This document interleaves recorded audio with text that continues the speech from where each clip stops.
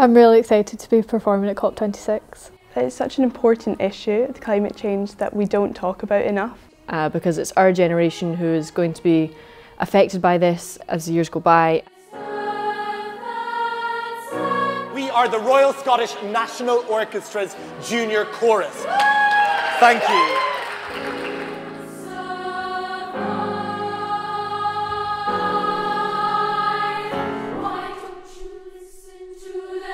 Think it's so important that it's the RSNO Junior Chorus getting to have a voice at this conference. The pieces are about different ways to kind of respect the planet and reduce emissions. One of them's about cycling, there's a few about um, keeping the earth cool and the ozone layer, and there's one about how our generation will be the next to inherit the world, as it's called.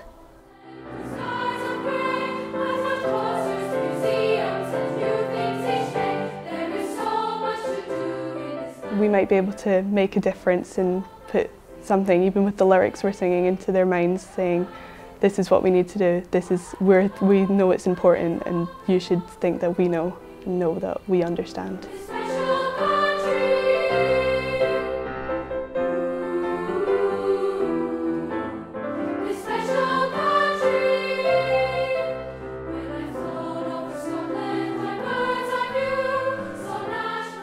Part of it is a lot of little things coming together, but a lot of it is from like big companies. They should be trying to reduce waste and um, reduce emissions and how they run their company. All the industries, the factories, oil companies, whatever they are that are benefiting from this climate change need to stop being able to benefit from it because until it's no longer financially an incentive for them to do these things, they won't stop.